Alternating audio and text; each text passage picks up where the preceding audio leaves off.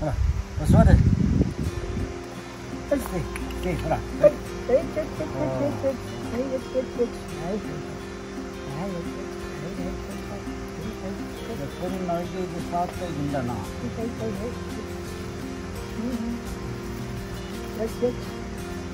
はいはいはいこれ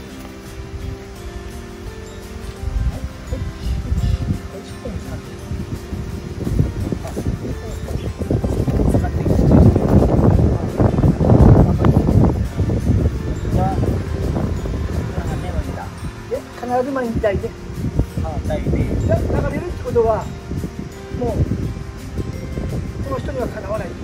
ああそういうことだだから毎日抱いてで聞かないから流せ流せないから。ああそうかそうか。流せたがらないから。で抱いても怒らないよ。うにあっちあっちあっちねあっちあっちこうやって。そして尻尾もこうやって持って。で大体この辺嫌がるからだんだんに。だ。から毎日お尻とか尻尾なでないと、はい、声すんだよ。これはいいこれはいい。甘いものだからそしてあとは耳も触って耳も触ってそれを全部触る。毎日触られても別に怒んなくなる。怒んなくなる。こうやって。嫌がることがないよ何をして嫌がることがないからね。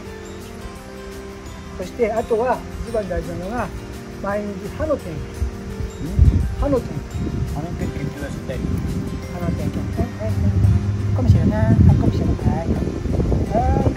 はい。い。い。よ歯見せてなはい。よしはい。はい。この牙を触られる歯を見られるってい。うことは犬にとっては屈辱だからこれができるっていうことは私が勝ってますから。飼い主の方が勝ってますから。自分より弱い人には絶対歯見せないから。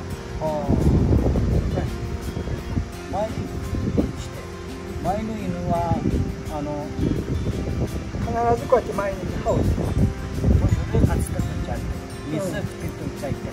あ飯食ってる時はダメなのいる、うん、それはだから飯を食わせるのもたまに持って食わせるあ持って食わせる手で持ってはあはあ、食わない時は取り上げる、さっと何も言わない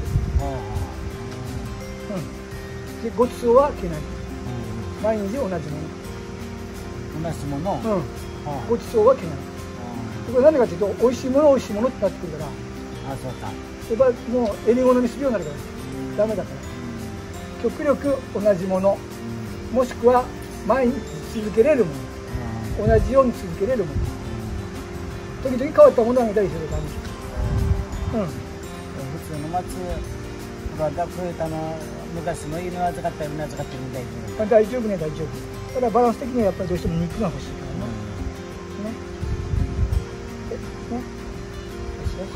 必ず毎日抱っこする。こういうのはキーパー先生抱っこばまでさん。で必ずこうやって尻尾も触るでこうやって。ラッチ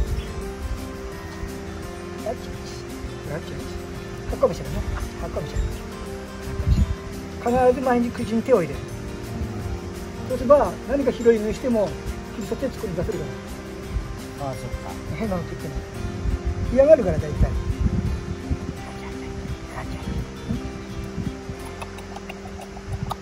はあ。噛まないナモが最初勝ってる気がだったんだよ。全然噛まないよ。これ噛まないこれなのか、うん、あそういう感じで。でたまに餌は持ってくわ持ってくわうん。フードアグレッシブ避けるためにで小さいうちは餌は多めに。多めに多めに。で6ヶ月過ぎてきて8ヶ月過ぎてきたら減らしていく、うん、あそれも大体が体決まってくるから。大人の体になるはい、はい、1歳になったら半分になる餌が大きくなったら半分です。毎日はそういう感じです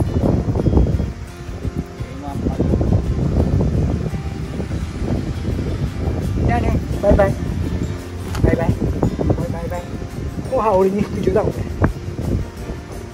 色やと思ったけど私は聞かなくない全然